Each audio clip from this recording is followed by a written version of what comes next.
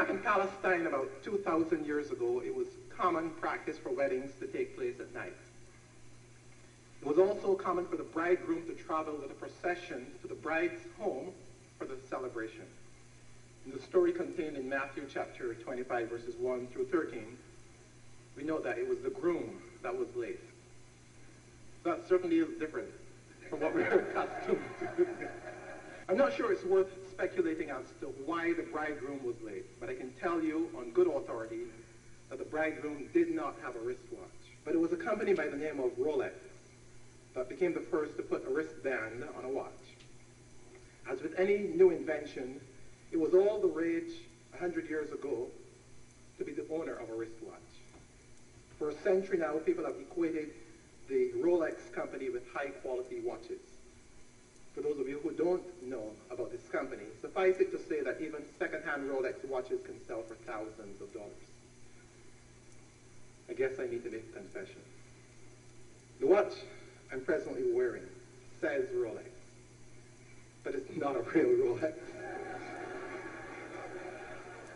Let me quickly tell you the story of how I came to be the owner of this phony Rolex. Thirteen years ago, I was walking down the street in New York City. I must have accidentally hit my watch against the wall because when I looked at the time, I observed that the glass face of my Citizen Quartz watch had fallen out. I looked around on the ground, but it was nowhere to be found. So I located the nearest watch repair store and asked the proprietor if he could replace the glass crystal in my watch. Me for a few days while I called up a citizen dealer and tried to get a replacement, and it'll cost you about $32. I wasn't going to be in New York for another couple of days, and I certainly was not proud of the fact that I paid $32 just to have the crystal replaced. So I told him thanks anyway, and I stepped out of the store. And as I stepped out of the store, I noticed a guy selling watches on the sidewalk. I can't exactly recall how the negotiations went, but I think I ended up paying about $12 for this Rolex watch I'm wearing. Instead of paying $32 just to replace the glass crystal, I came out about $20 ahead. If you know anything about these, there's a lot of empty space in here. It's not very dead. I guess you can lift it up and test by the weight to that kind of Timex on the inside. But apart from that single moment, I get the experience of having people think I can afford a real Rolex watch. Okay, back to the parable. I believe that there are several important themes contained in this parable. Among these, the difference between living in the light and living in darkness, the cost of procrastination and the cost of omission, and the importance of adequate preparation. You might call me a spin doctor, but I do feel some sympathy for the five bridesmaids in this parable who, because of some minor detail in their preparations, were excluded from the wedding ceremony. I want to believe that, but for the insufficiency of oil in their lamps, these girls were decent people, and they experienced much embarrassment at letting down those who had invited them to participate in this wedding ceremony. Perhaps I sympathize with the bridesmaids because the story tells us that it was the bridegroom who was late, and also because the girls ultimately took responsibility for their error. If you've ever been late, or if you've ever messed up, you might understand why I feel sympathetic towards these girls. I suppose that someone could also point to the seeming lack of sympathy by the five wise bridesmaids. For it does seem somewhat unchristian of them not to share their oil in this apparent moment of crisis. And then to crown the story off, after the girls have fixed their error and asked to be allowed into the wedding party, someone looks at them in the face and tells them in a rather blunt style that is Anne Robinson's, you are the weakest link. Goodbye. But however startling this parable might seem, one moral from the story is that in this Christian walk, individual preparation is essential. There are some things that just cannot be done for you. No matter how much your friends and your relatives pray for your salvation, without your own prayer of confession, you cannot obtain access to the kingdom of God. An ancillary point is this. We have the responsibility of telling others that preparation is essential. The dominant point, however, is that as Christians, we must be careful how we live our lives. In the remaining moments, I want to focus on these two groups of bridesmaids in five pairs and to point to five differences between good character and godly character. To aid your remembering of the five points of comparison, I've organized them via the acronym RAGES, R-A-G-E-S. I wish I had a better sounding word than but with those five letters, that's the best I could come up with. I thought of GRACE, G-R-A-S-E, but you would think that I really can't spell, so let's stick with a word that at least you recognize. The first pair of comparisons that I want to make can be remembered by the letter R. The comparison here is between religion and righteousness. For God never calls his people to be religious. Instead, he calls us to be righteous. My dictionary defines the word religious as showing devotion to an acknowledged deity, while it defines righteous as acting in accordance with God's divine law. Righteous literally means right and wise. Two words brought together, right and wise. A key point here is that we can be religious without being righteous. For while an outward show of devotion can earn us the characterization of being religious, it is God himself who declares us righteous.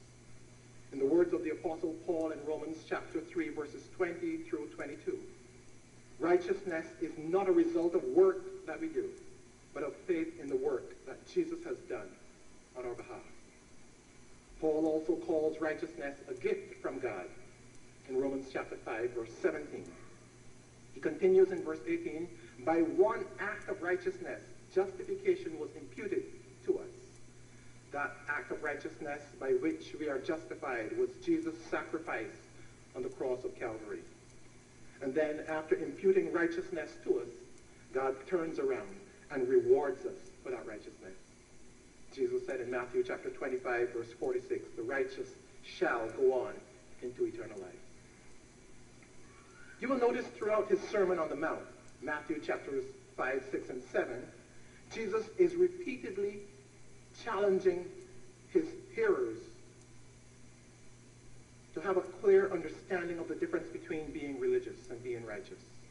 According to Jesus, being religious can be little more than an act performed for the approval of others.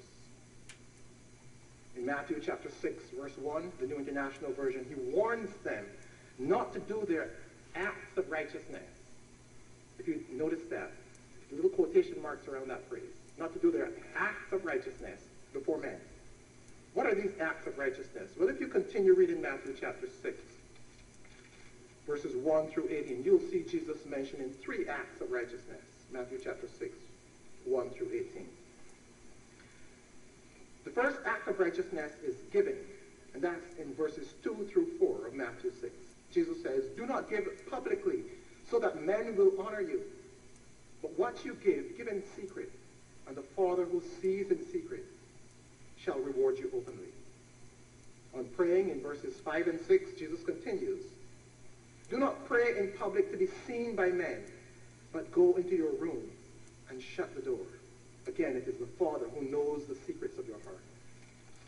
And finally, on fasting, Jesus says in verses 16 through 18, Do not look somber and disfigure your faces with ashes to show men that you're fasting. Only the Father needs to know, for he is the one who rewards your acts of righteousness. 1 John chapter 1 verse 18 tells us that if we confess our sins, he is faithful and just to forgive us but he'll also cleanse us from all unrighteousness. That is, he will give us his righteousness. My second point of comparison can be remembered by the letter A. And here I make the comparison between acknowledgement and allegiance. The word acknowledge means to recognize the authority or status of something or someone. By a recognition of who God is, many of us can thus be said to acknowledge him. I should say that I'm using the word acknowledge in the present day sense here because I also acknowledge that there's a biblical usage of the word acknowledge found in my favorite verse, uh, Proverbs chapter 3, verse 6. The current usage of the word acknowledge, though, hardly suggests devotion. Allegiance, on the other hand, does connote devotion. Allegiance is defined as the quality of being faithful to someone to whom one is bound. It comes from an old French word which meant having an obligation to one's Lord. Beyond the mere knowledge of God, we as Christians, are called to obedience. That is, to act in conformity with this knowledge that we have of who God is and what his will for our lives is. Some people who are aware that the Bible says, call unto me in the day of trouble and I will deliver thee, only turn to God during periods of trouble. Many people who are aware that the Bible's standard for upright conduct is very high would turn to the Word of God mainly for moral enlightenment. While knowledge of what the Bible says might get us some kudos from others, it is our obedience to God's perfect will that gets us the identification from God himself of being wise in his eyes. In Matthew chapter 7, verse 24, Jesus said, He who hears my words and does what I say shall be likened unto a wise man. And he who hears and does not obey is a foolish man. Let us seek to be wise in the eyes of God. That requires a declaration of obedience or allegiance to God on our part. A third set of characteristics for comparison can be recalled by the letter G. Goodness versus godliness. Most of us like the idea that others who know us would characterize us as good people. My dictionary defines a good person as one who conforms to moral order and is of favorable character. I underscore the words conforms and favorable in this definition, since we can only make judgments based on what people want to show us about themselves. On the basis of what I have just said, it ought to be clear that our goodness as judged by others need not equate to godliness. What is godliness? Literally, godlikeness. It is a genuine reverence toward God which governs our attitude towards all aspects of life, not only our devotion to service, but our devotion to worship. Because man looks at the outward appearance, the world may deem us to be good by observing our words and our deeds, but God looks and sees whether our heart is pure. In Psalm 24, verse 3, David asks the question, Who shall ascend into the hill of the Lord? Or who shall stand in his holy place? He answers in verse 4, He that hath clean hands and a pure heart. God has called us to a higher calling, purity of heart. In establishing the eight-step ladder of virtues found in 2 Peter chapter 1, verses 6 and 7, the Apostle Peter offers goodness as the second rung of this ladder and godliness as the sixth rung of this ladder. Godliness is indeed a higher calling. In 2 Peter chapter 3, verse 11, the apostle then exhorts us to live holy and godly lives. That is, he ranks holiness next to godliness.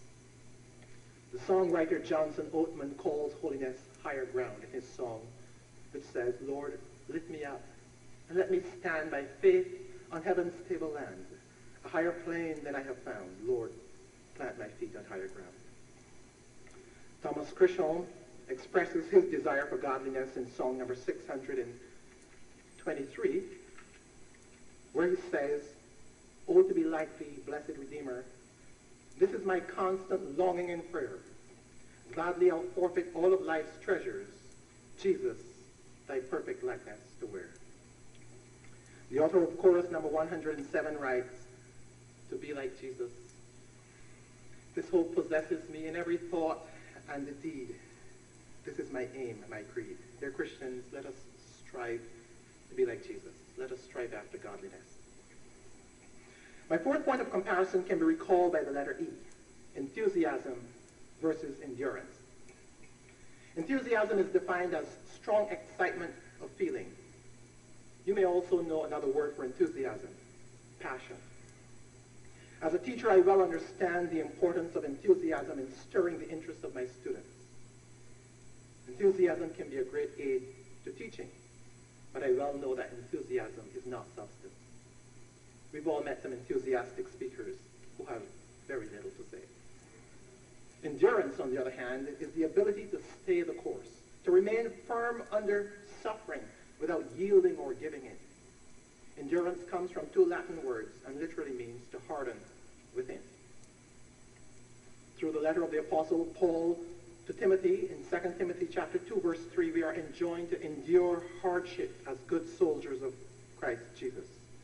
And later in that chapter, Paul points to the promise of God that if we endure, we will reign with Christ. 2 Timothy chapter 2, verse 12.